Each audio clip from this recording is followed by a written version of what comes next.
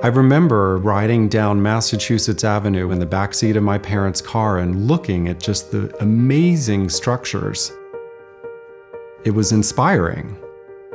And I became, without knowing it, a great fan of that and a great student of that. Somebody who really appreciated all of which was around me.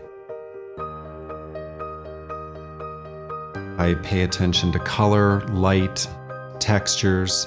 There's not many details that go overlooked by me. I delight in the curation of that space, which ultimately becomes the backdrop for creating memories. So that's what I love about homes. Being a real estate advisor is a very important role that I play in somebody's life as they're making a transition from one part of their life to another. It's a very personal process.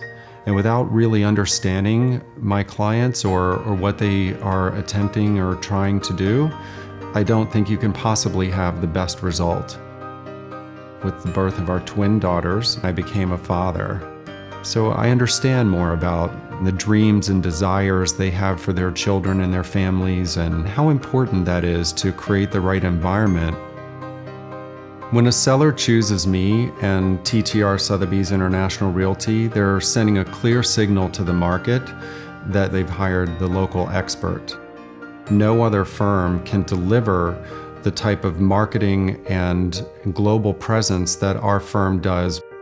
My clients will get that white glove service in any location around the globe that they will get with me here. I would hope that somebody would understand that I actually care about what I do, and I care to do it well, and that we end up truly making them happy in the end, because that's really what it's all about to get to the next chapter of their life.